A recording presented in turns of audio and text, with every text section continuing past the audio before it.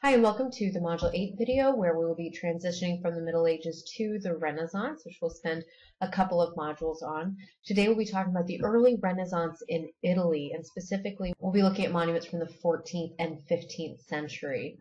Some of the major themes we'll talk about today is this idea of the Renaissance as a rebirth. We'll talk about what it's a rebirth of. We'll talk about the rise of humanism. This is something we've talked about before with the ancient Greeks. It's something that emerges again in Renaissance Italy specifically. We'll also see that there are quite a few quickly changing styles. We're going to focus mostly on painting today, but you will see that just how quickly we're talking about decades between changes in styles here instead of uh, centuries or even millennia. We'll also spend a bit of time talking about the Medici family, which was the de facto ruling family of Florence because they impacted the art world pretty significantly. And finally, we'll discuss a couple of artistic monuments that come from the courts of Italy. So just to give you a sense of what Italy looks like at this time, we've looked at Italy a couple of times now. The country that you know as Italy wasn't formed until 1861. It was composed of different areas ruled by different sorts of people. So for example, Venice is a republic. That means it's run by the citizens. Milan is a duchy, so that means there's a duke. You also have republics in Florence and Siena. And then you see this big swath of central Italy that's called the Papal States. And this was the territorial ruling of the Pope. So the Pope had control over these areas. And actually, the Pope was quite active in trying to gain more territory in some cases. And as you can see, the south of Italy is called the Kingdom of Naples, and then you have the Kingdom of Sicily. And this changes hands a number of times so moving on to some of the major ideas for today, in the medieval period we saw some interest in classical antiquity. You should be specifically thinking of the Roman influence at Rheims Cathedral. Also, those manuscripts we looked at show Mediterranean influence. We saw Charlemagne's evocation of the Roman past in asserting his right to rule. In Italy, this interest in classical antiquity, which is all around them, really takes hold in the 13th and 14th centuries, leading to what we now call the Renaissance, which is this very conscious revival of the classical past. So the people living during the Renaissance are looking back to writings of antiquity, ancient Greek and Roman philosophers and historians. They're looking at the monuments and trying to understand them. They're changing from this very God centered society of the Middle Ages to this humanistic approach where man is the measure of all things. So, of course, they're still very religious. That's absolutely true. We'll be looking at lots of religious art. But they saw and measured things based on the human mind, the human idea, and the human body, very much like the Greeks and the Romans did. In many ways, Italian painting over the Middle Ages was influenced by Byzantine painting.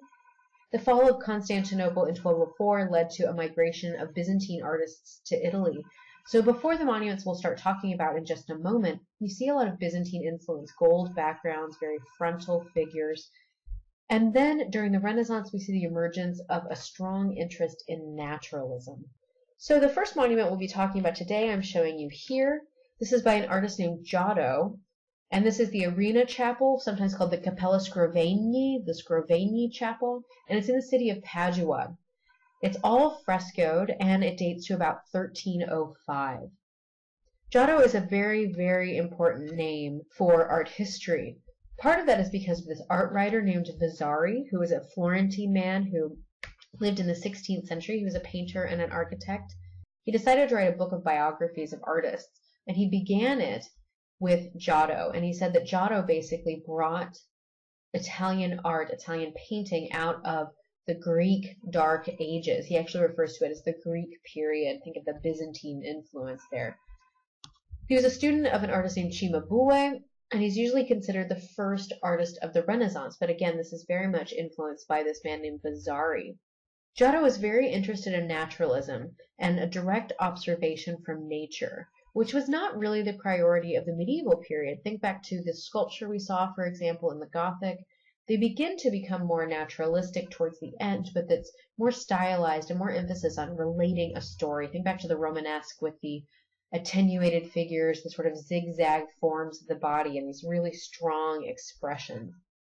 So this interest in nature is both in the observation of the figures and also in landscape settings, which we can see in the paintings in this chapel. Sometimes people will call Giotto also a late Gothic painter, but he's this really transitional figure. So this chapel, it's a freestanding, independent chapel. Was done for a man named Enrico Scrovegni. It was his new family chapel, and it's referred to as the Arena Chapel because of the nearby ancient Roman amphitheater, whose remains are still visible in Padua today. So Padua is about a 30 minute train ride outside of Venice. It was an ancient Roman city, and it's the center of the second oldest university in Italy. So, for example, Galileo even taught at the University of Padua. Scrovegni was from a leading banking family. His father, Reginaldo, was renowned for usury, which is this which was the idea of collecting interest on loaned money, which is a very common practice today, but was considered a, a heavy sin back then. For example, Reginaldo Scrovegni was included in the seventh circle of hell by Dante. That's how well he, known he was for banking. So his son Enrico wanted to atone for these sins. And one of the most popular ways to atone for your sins, to bring glory to God, was to commission art and to decorate a chapel. He decided to build this freestanding chapel and he dedicated it to the Virgin of Charity. So sometimes you might also see this called Santa Maria della Carità, which is Saint Mary of Charity. What we're seeing here is a painting cycle showing 38 scenes from the life of the Virgin, which is on the top level here. And then we have scenes from the life of Christ, which makes up the bottom level of the painting. Below, we have this fictive marble dado. Remember we talked about this lower level, the dado with Sainte-Chapelle. You can see the fictive marble panels here. And you can see these statues here that represent vices and virtues. So this is done in a technique called grisaille, which basically just means grayscale. So it's painting made to look like sculpture. The naturalism that we see in the figures, and I'll show you some details in just a minute, is furthered by Giotto's efforts to unify the chapel. He uses a system of two-point perspective to organize the space, and he uses this very consistently throughout the chapel so that there's a distinctive viewing point for each of the images and a perfect place to stand in the chapel here. Here I'm showing you a detail of the scene of the Last Judgment. I'll show you a larger view of that in just a moment. What we see here is kneeling in the very center is Enrico Scrovegni, and to these three saints, which are actually supposed to be all different aspects of Mary. So one of them, for example, is Mary of Charity. Remember, that's who it's dedicated to. He's presenting this little model of his chapel to the Virgin Mary. So this is a very direct way of showing how he's atoning for sins by offering this chapel to the saints so that maybe Mary will intercess on his or his father's behalf. So I want to focus on just a couple of scenes. Here I'm showing you the one called The Kiss of Judas. This is a scene of a lot of action in the Passion story. The Passion is the story of Christ's crucifixion. So what we're seeing is in the very center two figures. On the left with the golden halo, you see Christ staring directly into the eyes of Judas, the apostle who betrayed him, the one who, who got 30 pieces of silver in exchange for ratting him out to the Romans, essentially. So the signal for the one to be arrested was when Judas kissed him. There's a lot of action going on here. You also see on the left side St. Peter. Notice he's got a knife in his hand and he's cutting off the ear of one of the people who had come to arrest Christ. In the background, this is kind of hard to see, but in the background we have this group of figures all holding clubs and lances and various other things. They're part of the mob that went to arrest Christ. You're seeing their helmets for the most part, and Giotto decided to paint these helmets in pure silver which oxidizes over time, and so now they're virtually black, even though the paintings have been restored pretty considerably. The narrative scenes in the chapel display Giotto's ability to distill a very complex narrative into a coherent visual experience. So there's a lot going on here, but you can very easily identify the centerpiece and this gesture, this this sweeping robe, this diagonal that leads up to the face of Christ through the drapery here really indicates exactly where you need to be looking. And you've got this very intense expression being exchanged between Judas and Christ. He has this ability to model form with color. So he renders these bulky figures as basically pure color masses, painting the deepest shadows with the most intense hues, the purest form of these colors. And he highlights the shapes by mixing in white with the paint. So especially in this technique called fresco, which I'll explain in some depth in just a minute, they didn't like to add black to the colors to make darker tones. So instead, the really dark portions you see inside the folds of this red robe, for example, or in the blue, that's the purest form of the color. They were fine with adding white, but since it's a watercolor technique, uh, it made more sense to add white than to add black. So this is probably the most famous scene in the chapel. This is called the Lamentation. Here we see Giotto focusing the composition for maximum emotional effect by offsetting the Virgin Mary and the dead Christ right here. You can see the mother embracing her dead son, this intense experience, just like we saw with the kiss of Judas, between their faces, although only one is living here. You have this very strong vertical ridge, this diagonal that leads right down to the central figures. And at the top of that, you have the single barren tree, which was a medieval symbol of death. So it's creating this psychological tension, but is also used for a compositional effect where you see this tree and then your eye follows that down to the central figures here. All of the figures are in mourning, and you can see these very emotional angels flying up above them. The figures are large and bulky, but in the midst of their bulkiness, you get a really good sense of the bodies underneath their clothing. And they're not static, they're actually moving quite a bit, especially this figure of St. John the Evangelist. He's throwing his arm back, his arms back in grief, creating this sort of counter movement. The body doesn't naturally do that, creating both motion and emotion at the same time. And that's echoed by Mary Magdalene's very intense emotions. She sits here and holds the feet of Christ. So all of their expressions convey what the viewer should be feeling at the same time. The distraught faces of all of these figures contrast pretty considerably with the calmness of these two figures. They're probably supposed to be Nicodemus and Joseph of Arimathea, who are both said to be present at the crucifixion. Then what's interesting is we also have these two figures who have their backs to us. We can't see much of them at all. We don't really know what's going on with them. They've never really been used before to create the scene of drama, but it's a way of letting the viewer into the space. It's almost like they're just like us. But notice they leave this nice opening for the most intense action where we can just immediately approach it. So instead of creating some sort of symbolic sorrow, Giotto is trying to convey real human suffering, drawing the viewer into the circle of personal grief. Now, I want to point out also, do you see all these lines throughout the sky especially? You can see these the way the paint changes colors on either sides of these lines. This is something I want you to remember while I explain fresco technique. So here I'm showing you a diagram uh, explaining how fresco technique works. This is a wall painting and it is something that is very, very durable because it actually becomes part of the wall. The first thing you do if you are making a fresco, you have this wall that is existing. You lay down a layer of very rough plaster called the arriccio, which is indicated here. Then you make a drawing on top of it in red ochre called the sinopia, uh, which is how you know what to paint and where. After that, you add a layer of smooth, fresh plaster, which is called the intonaco. You could only apply the intonaco one patch at a time, Hence why I pointed out in the lamentation the distinctions between those different patches of the sky.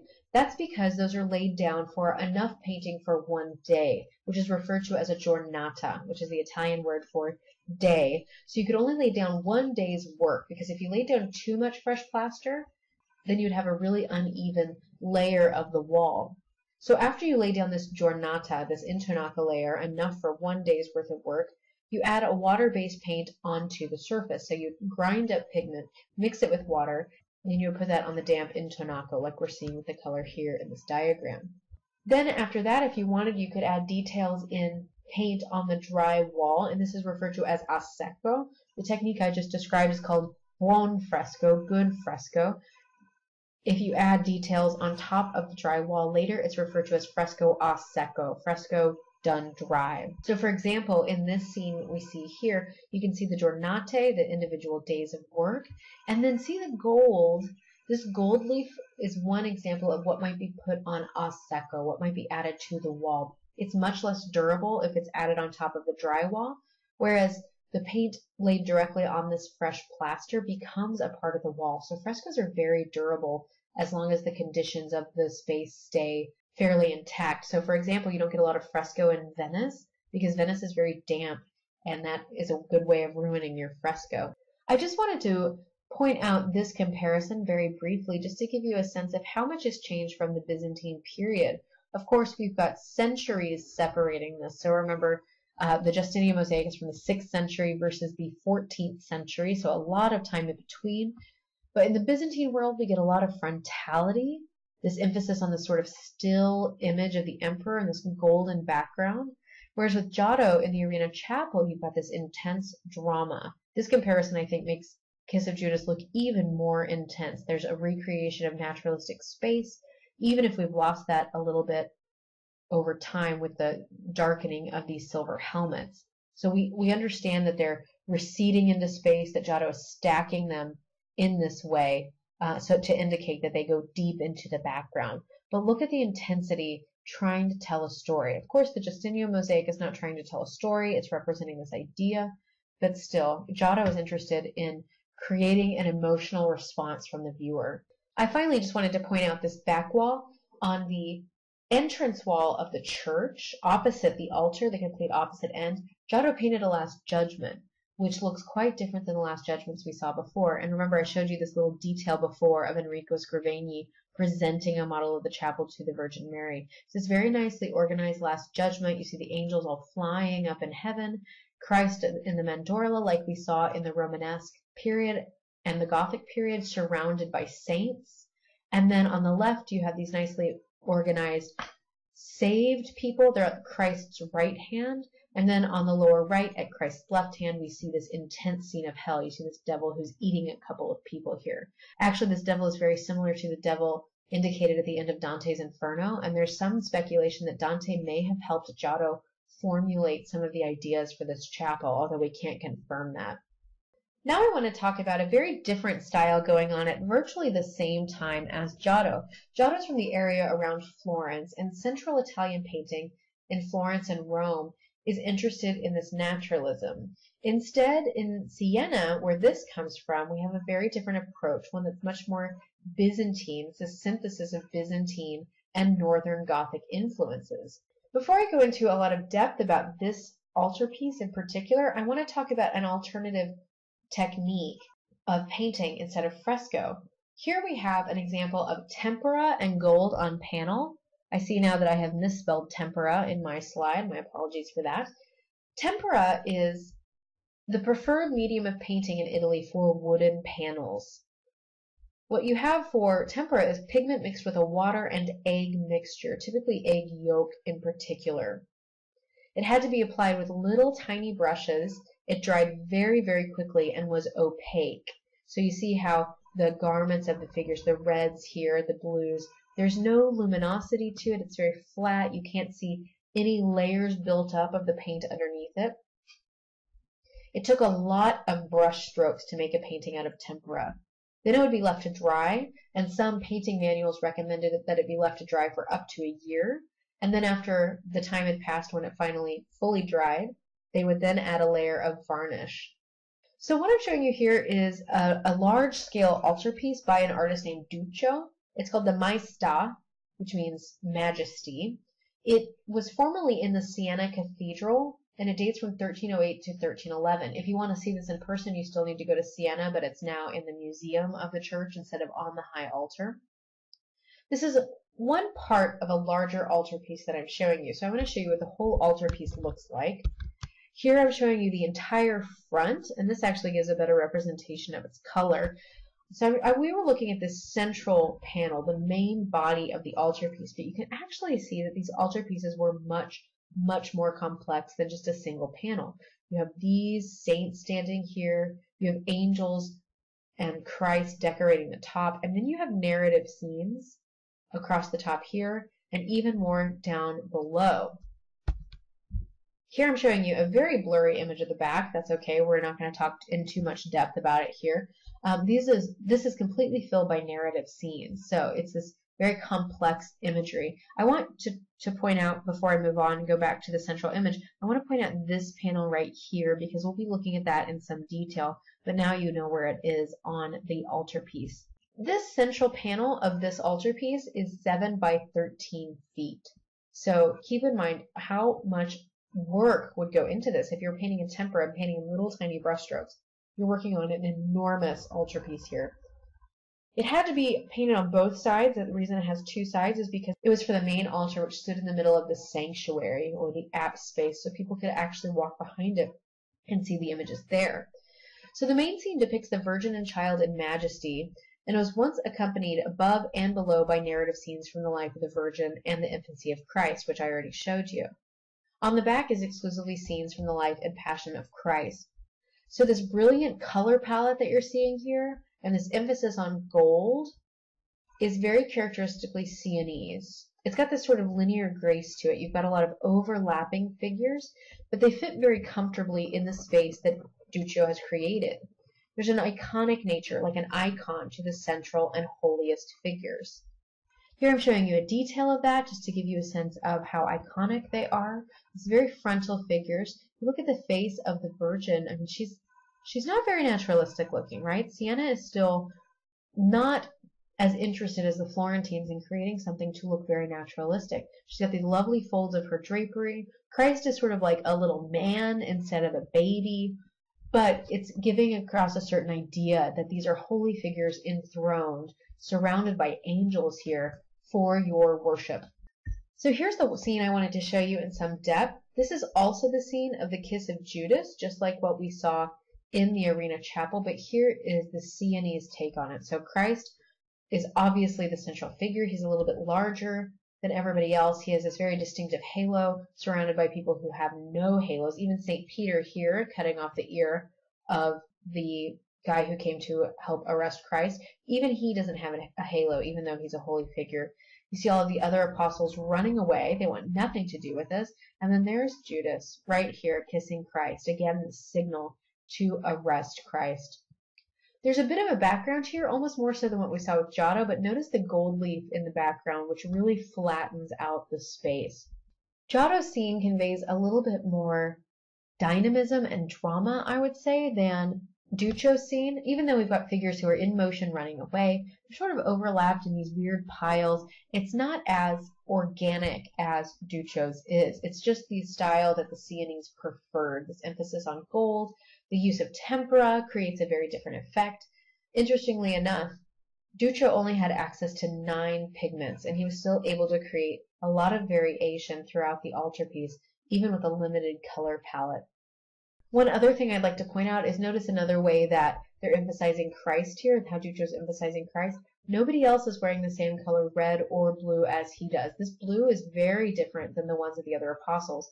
It's made from a pigment pigment called ultramarine, which was actually more expensive to buy than gold. So that's another way to demarcate Christ as the most important figure.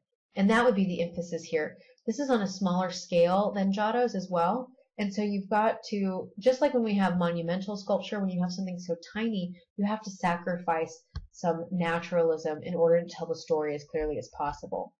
So now we're going to jump forward about a century when the ideals of Giotto really take hold in central Italy. And that's what a lot of people consider the real start of the Renaissance. Some say Giotto started it, but some say it didn't really take effect for another century, so that's when the Renaissance starts. It's, it's, it's a debate that's never ending. So in the 15th century, there's a lot of Italian intellectual and cultivated circle. In the 15th century, we have a continuation of developments of the 14th century. We see an emphasis on pictorial illusionism, trying to create trying to recreate the naturalistic world. We see patronage existing for civic responsibility and for self promotion. Think of that with the Arena Chapel, for example. We'll see more of that in the 15th century. But always underlying this, we have humanist ideals. You also have a growing status of the artist, which really culminates in the 16th century.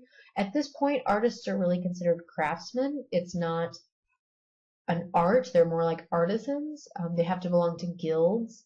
So they're a lower class than other professions. So Florence becomes this really important hotbed for a lot of the developments of the Renaissance. There must have been something in the water.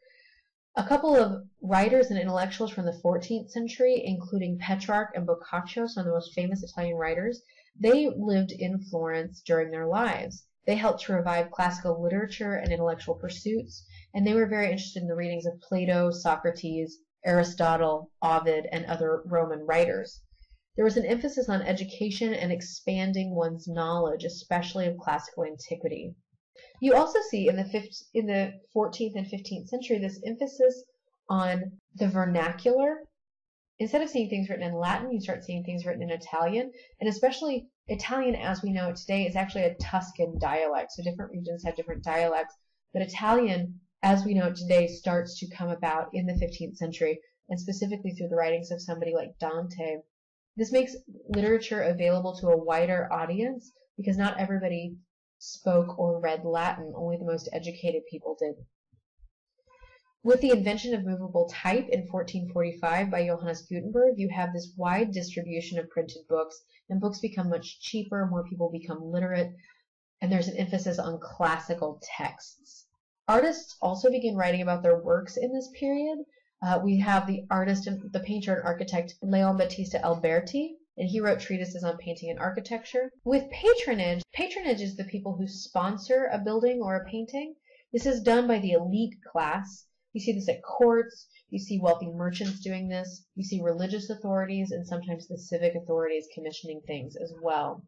So, keep in mind that Florence is this major center of humanist development in the 15th century. It saw itself essentially as a new Athens and identified itself with classical republics because remember, Athens was a republic for a great period of time. So we actually see lots of public commissions. Something else we see going on in Florence a lot is the idea of competition between artists. Often for a major civic commission, they would have a competition between artists. So artists are going to do their absolute best. It inspires this, it's this Republican ideal that the best artist should prove himself.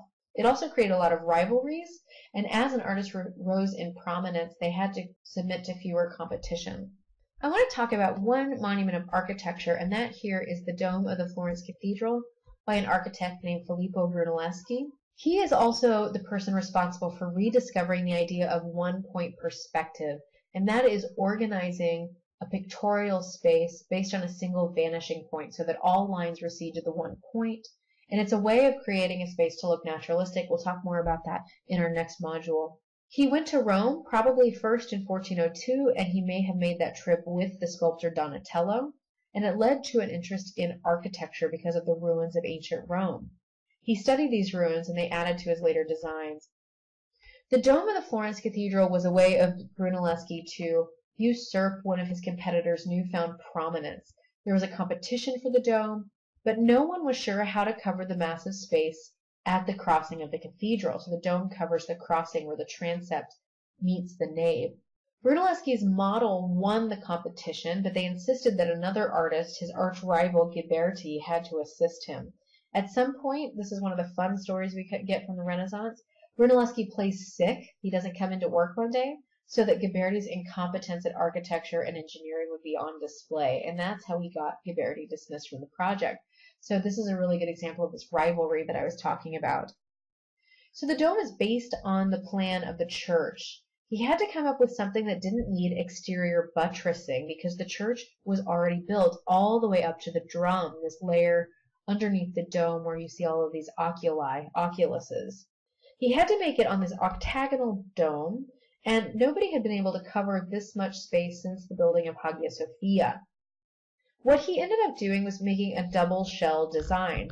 And here I'm showing you this cutaway view so you can get a sense of that double shell. You see the exterior here, and then this interior rib system. What resulted is that the more weight was added, the stronger the dome became. So you see these primary ribs at each corner of this octagon, and then these secondary ribs, all of which bring the weight of the dome right down onto the drum and down onto the existing building. So in the exterior view here, you see these enormous ribs, which are also relieving the weight here. They jut up from the dome all the way up to the space called the lantern, they're sort of like hidden flying buttresses. So he develops a system of arches which are held together by these enormous sandstone rings that he inserted throughout. You can see those as the horizontal elements here. The inner and the outer shells are linked. It becomes the largest dome built since the Pantheon in Rome. Maybe he would have wanted a typical hemispherical dome, but he turned to Gothic techniques, specifically the pointed arch, to create a stronger and more stable structure. The exterior shell is quite thin, the ribs are big, especially those in the exterior.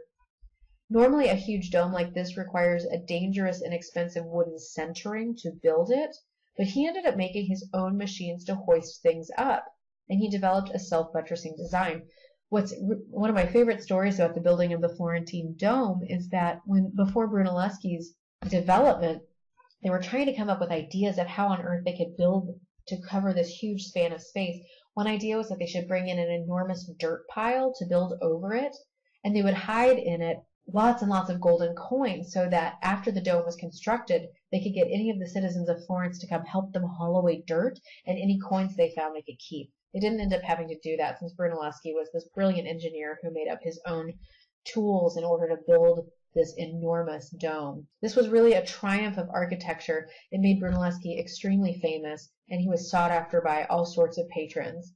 He really here is utilizing medieval architectural traditions and turns later to classicizing Renaissance designs. You can see some of those in your textbooks. Now I want to move on to the Medici family and some of their related commissions. They were this prominent banking family that had control over the government, although they weren't officially in power until the later part of the 16th century, until about the middle of the 16th century. But they had enough influence, they had friends in high places, they helped put their friends in high places, that they basically had control of the government. Florence has this love-hate relationship with them. They throw them out for a while, and then they're in crisis, and they need them back, and then they throw them out again. So it's this drama between Florence and the Medici. Regardless of the fact that Florence was a republic in name, they were able to maintain control like princes. And as I said, they eventually become dukes of Tuscany in the mid-16th century. Now, before I talk about this work of art in particular, I want to mention a couple of symbols that are associated with Florence. As a republic, they see themselves as these strong victors over tyranny. So they're sort of these little guys who are going to triumph over whoever is trying to come in and rule them. So one symbol is Hercules. He first appears on the seal of the city in the 12th century. Another is the figure of David, especially in his youth, this triumphant youth over the clearly evil Philistine Goliath. We'll talk more about that in just a minute. And finally, the figure of Judith, who was a counterpart of David. She was this female who triumphed over an Assyrian gen general named Holofernes and saved her town from utter destruction. This is in one of the apocryphal books of the Bible, so they're often counterparts to one another. What I'm showing you here is the sculpture of David by Donatello. It dates to about 1430 to 40 and is made of bronze. Donatello went to Rome in his youth to study ancient statuary, and the David here is thought to have been commissioned by the Medici. And what it is is the first freestanding life-size nude since antiquity. That's an important fact to remember about this. We see the contrapposto stance. He's the sensuous youth, and we see a new emphasis on the body that would have been rejected in the medieval period. This nude figure would have been completely out of place in the Middle Ages. We see this interest in the individual, on the body of man. This sculpture stood in the courtyard of the Medici Palace, but it maybe originally was for a different site. It was in the courtyard, so it actually was visible from the street. The Medici liked commissioning images of youth at this time, and this is a departure from the typical depiction of David, since he's shown both in the nude and so young. How old is he? About 13, maybe? Often you see the David as this very adult figure who's triumphing over Goliath, not this little youth here. But it's interesting that the Medici applied this symbol to themselves, especially since it was the symbol of Florence, showing themselves as victors over tyranny. It's it's got a lot of potential messages it could be sending. Donatello had before this made a statue of David for the city, which is now in the City Hall of Florence. Here the Medici are appropriating the civic image for a private citizen, and one who is honestly doing quite a bit of usurping themselves. Following their expulsion from the city in 1495, this sculpture of David was taken to the Palazzo della Signoria, this city hall. It was displayed in that courtyard, and they added an inscription to it, making it the city's, and the inscription named it an exemplum of public well-being.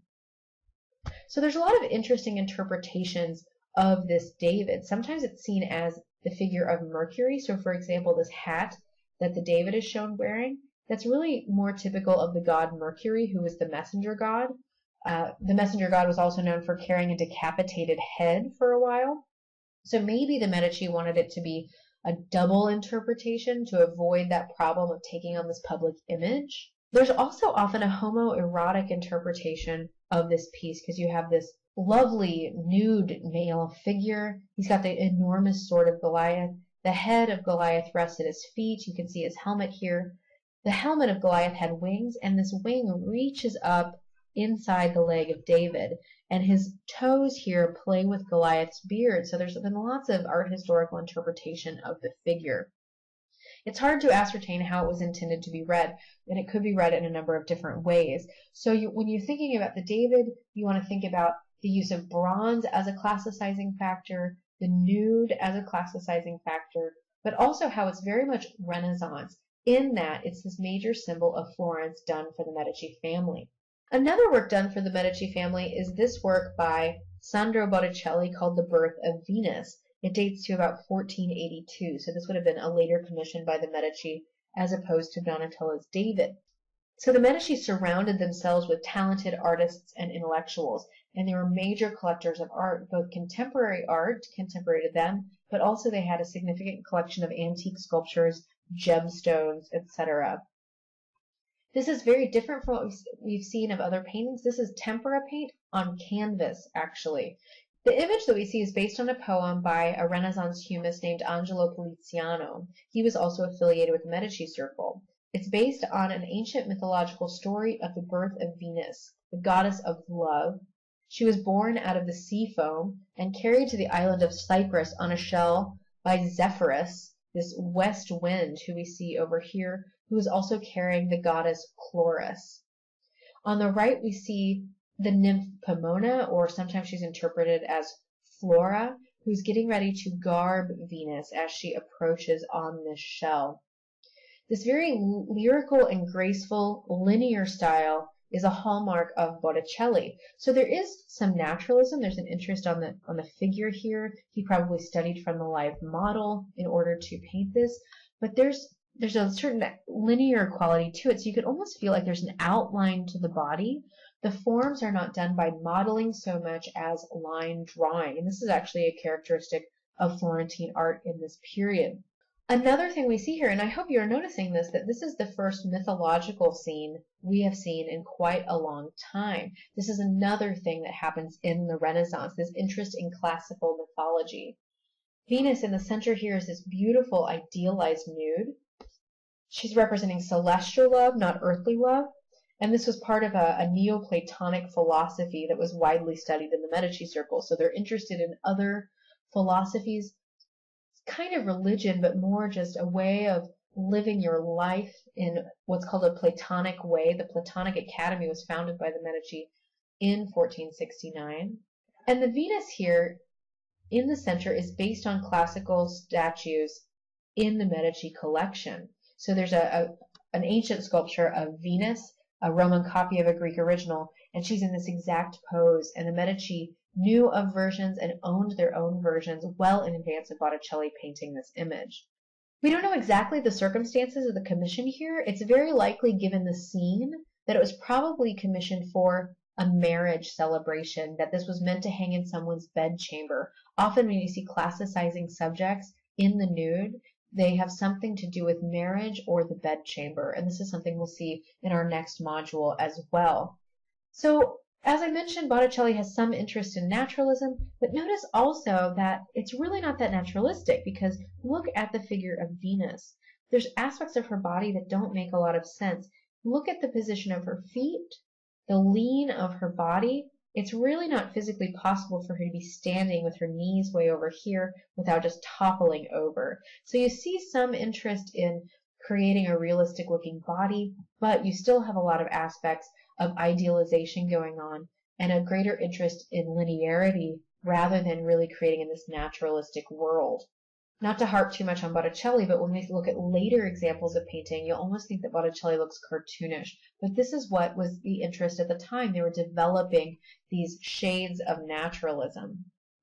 So for our last two images of the day, I want to move on to a couple of works of art that were commissioned by the courts of Italy rather than by cities or private individuals within these cities. This work by Piero della Francesca is a double portrait of Battista Sforza, that's the woman on the left, and Federico da Montefeltro shown on the right side of this, and this dates sometime after 1475. Here we have a combination of the two major painting techniques of the Renaissance, oil and tempera, and this is done on wooden panel. Federico da Montefeltro was the Duke of Urbino, and this is a city in central Italy in the region called Le Marche. He was a mercenary soldier, so that is a soldier who was hired out by other people, who could be hired by anybody to go fight in a battle. And he established Urbino as the ideal Renaissance court. He was able to strike a perfect balance between military prowess and establishing an erudite image of himself. So there's lots of portraits that survive of him and one of them shows him in his armor in his library reading ancient texts. So he wanted to cultivate this idea of himself as both a Renaissance prince, but also this important warrior, which is how he made his fortune. He took the city of Urbino from his brother in 1444, built an enormous Renaissance palace there, and had Piero della Francesca as his court artist. As a child, he was at the court of Mantua as a hostage, and there he was given a humanist education. So he really developed both of these aspects of himself, this humanist scholar and the soldier, from very early on in his life. He began building his court in 1468, and he spent more money on art and architecture than any other Italian ruler. He really wanted to assert the legitimacy of his line, to show himself as a virtuous Christian prince, since he was mostly known for killing people. So art was a way to show both his military prowess and himself as a just ruler, because he wanted to be seen as an equal to any other ruler in Italy, the Pope, the Medici, the Duke of Milan, any of these other people. He was also known for his extensive library, and a second only to the Vatican Library. He emphasized in his collection military strategy and history, scientific and philosophical writings as well. He wasn't so much interested in beautiful decoration in his books, but in comprehensiveness of his collection. When comparing it to other libraries like the Vatican, that of the Medici, or even Oxford, a contemporary wrote that all of those libraries had defects or doubles except for that of Federico da Montefeltro. So let's talk about this portrait in particular. This double portrait was commissioned just after his wife Battista had died. She never fully recovered from the birth of Guidobaldo, who was Federico's heir. This is shown in what's called a diptych. That is, it has two panels that work together, a diptych. And this frame that it's in now is, is a bit later. And there's the possibility that it actually was inserted into a frame originally that was closable like a book, so that maybe Federico could take it with him as he traveled, so that it was easily foldable and easily portable. The profile view that we see them in recalls commemorative medals or coins from ancient Rome. They're both set against a generic landscape of their realm, and this is actually continued on the back side of the panel, which I'll show you in just a minute. They're heraldically arranged, that is, in the symmetry. Their collars both stand right at the horizon line, so it's very carefully organized with the background, even though they seem like simple profiles and they're set against these generic landscapes of their realm, so it sort of resembles the area around Urbino. The landscapes also give a sense of gender roles. Notice that Battista is shown in, in front of a darkened fortified city. You can see it in the background. But Federico is shown before rolling hills and waters because she stays at home, she stays in the fortified city, and he goes out into the world. You see this river going back into the landscape because he was often traveling because he's this mercenary soldier going all over Italy to fight. Their portraits are in opposition to each other. Battista shows that she was very highly cultured, She's a very fashionable lady of the Renaissance. You see her plucked hairline. You see how high her forehead is, how far back her hairline goes. She has almost no eyebrows. They plucked out all of these, potentially even plucking out their eyelashes at certain times. She's shown in this very nice clothing, the pearls at her neck, whereas Federico is shown as this epitome of dignity in a ruler's costume. Notice he's not shown as a soldier here. One thing to point out about Federico, he has a very distinctive face. See, this bridge of his nose is missing. He was actually disfigured in a tournament, and it's very characteristic to see him from the left side because he lost his right eye and the bridge of his nose in this tournament. So he was scarred. The artist Piero doesn't completely disguise this.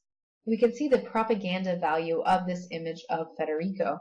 To use that injury made him very recognizable. And remember, even the Roman emperors, even earlier examples that we've looked at, really like to have this recognizable image of their ruler. So here I'm showing you the reverse of each panel. So we've now flipped. Federico is on this side. They're each on a chariot. We see him in armor here. And here is Battista on this chariot. And we're seeing them in triumph. You also have the same sort of landscape on the back. They, they communicate with each other, but again, he's shown in front of all of this watery landscape. The Latin inscriptions that you see indicate Federico's esteem for humanist scholarship, and he's surrounded by personifications of justice, prudence, strength, and temperance. Notice he's also being crowned by a victory, like so many other rulers that we have seen. With Battista, we see her shown reading a prayer book, and her inscription is in the past tense because she had just died, and it extols her modesty and her role as a famous man's spouse. One of the major things emphasized here is chastity, with the unicorns drawing her cart. According to legend, only a virgin could approach a unicorn.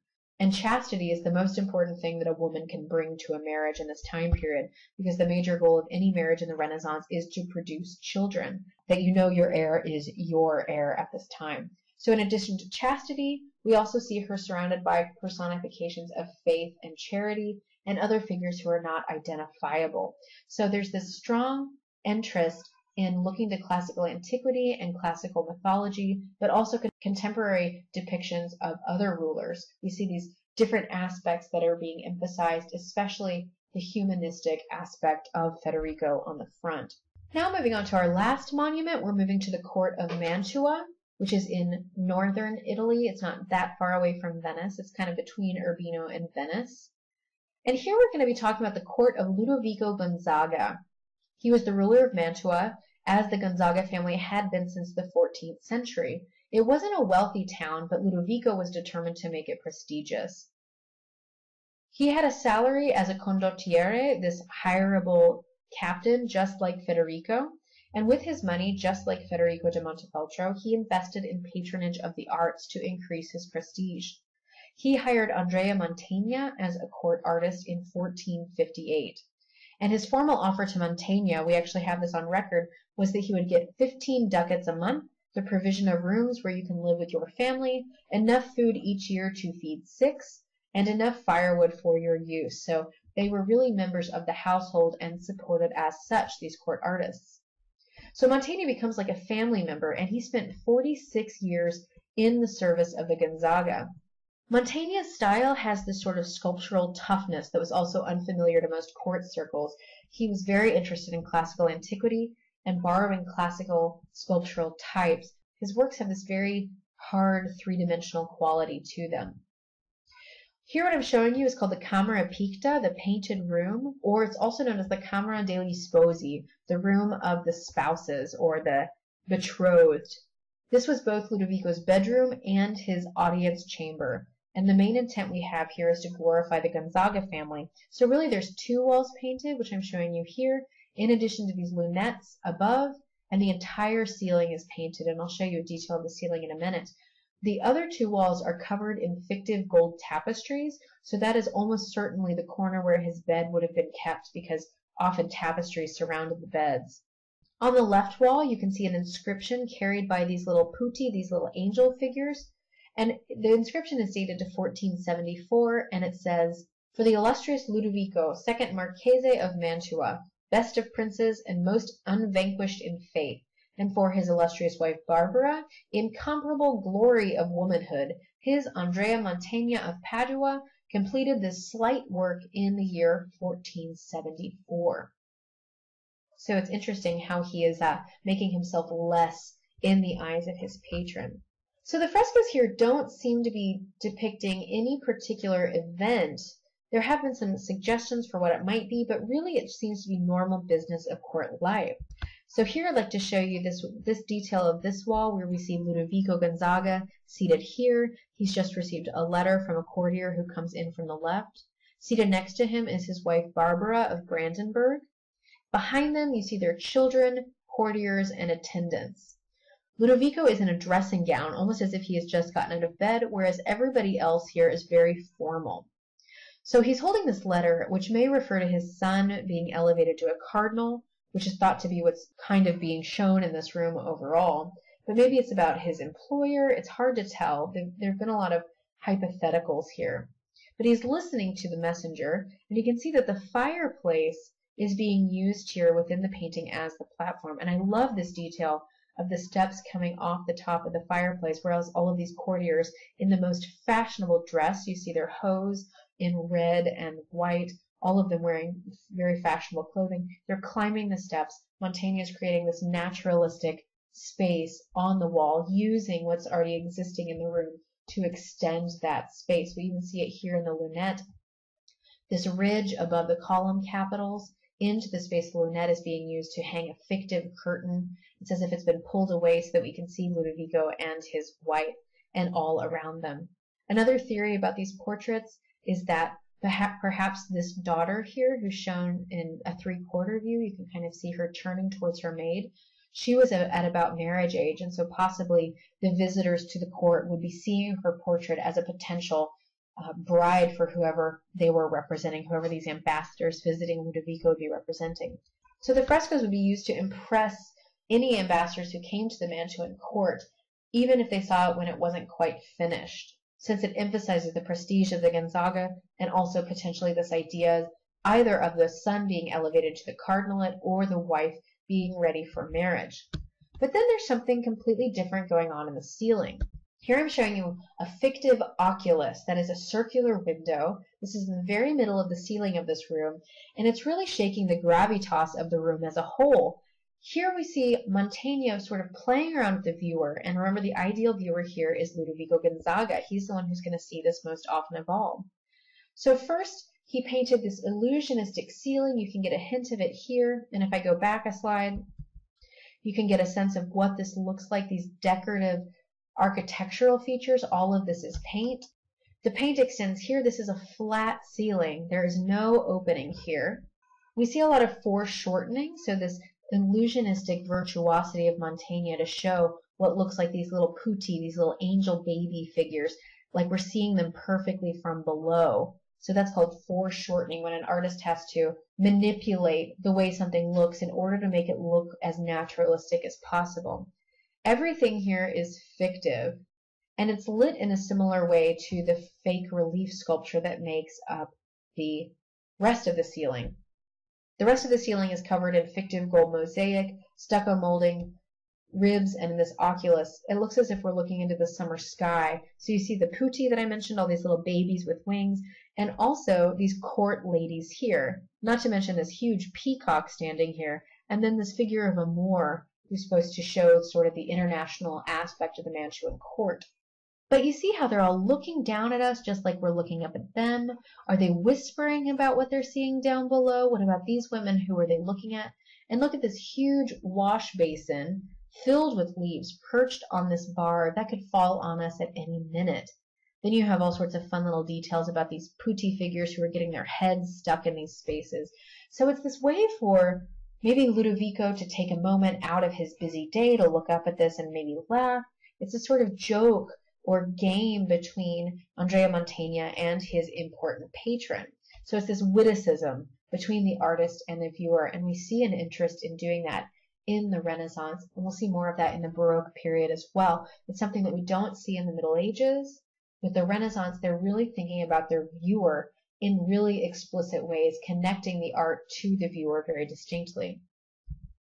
So to wrap up for today and for you to finish Module 8, what we talked about today was this idea of the Renaissance as a rebirth of classicism. We saw this with Donatello, also this rise of humanism with Donatello, this emphasis on how can I make something look almost as if it's antique. Renaissance artists really wanted to compete with classical antiquity. And of course we wouldn't we wouldn't mistake Donatello's David as being an antique sculpture, but he's using the right medium. He's making a life-size freestanding bronze using contrapposto and this perfect naturalism.